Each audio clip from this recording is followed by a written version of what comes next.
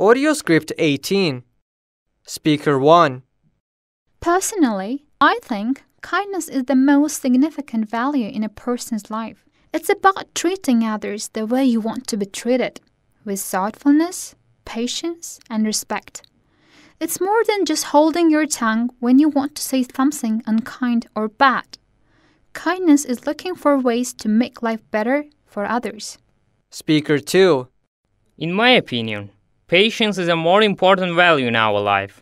When someone is taking your time or attention away from something you do, or making your life harder in some way, you practice patience by trying to see the situation from their point of view and responding with kindness and respect.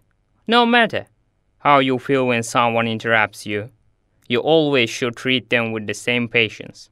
Speaker 3. Well, being respected by important people in our lives teaches us how to be respectful toward others.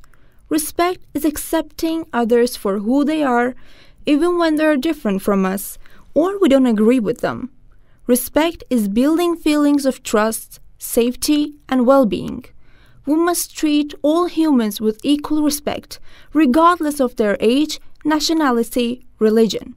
Respect doesn't come naturally, it is something we learn. Speaker 4. For me, another word for self giving is sacrifice. But self giving has a more positive meaning. Essentially, you're giving your time, your attention, your energy, and your abilities to help or enrich another person. You give of yourself to others not to only connect with them, but to allow your connectedness.